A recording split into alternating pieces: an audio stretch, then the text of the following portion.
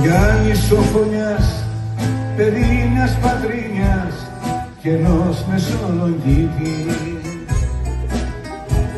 Προχθές την Κυριακή μετά τη φυλακή επέρασα από το σπίτι.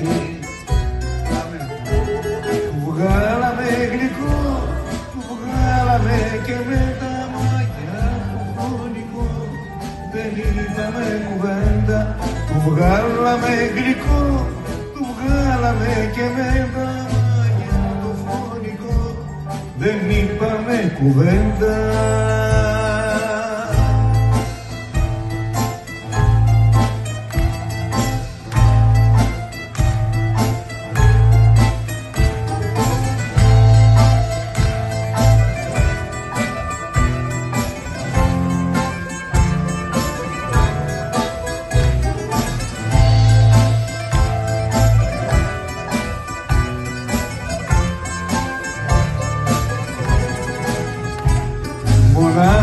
Μονάχα το φροσί με δάκρυ θα βάζει στα μάτια τα μεγάλα.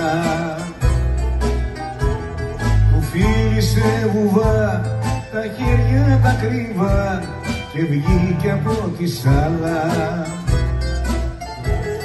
Δεν μπόρεσε κανείς το πόνο της να αντέξει κι ούτε να συγγενείς να πει δεν βρήκε λέξη. Δεν μπόρεσε κανείς το πόνο της να αντέξει κι ούτε να συγγενείς να πει δεν βρήκε λέξη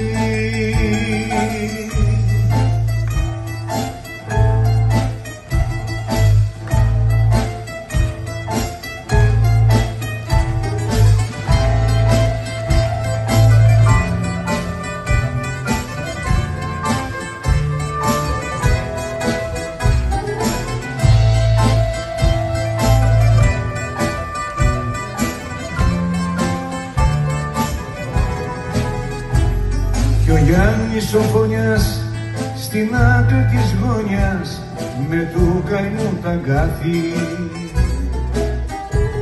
θυμήθηκε ξανά φεγάρια μακρινά και το όνειρο που εχάθη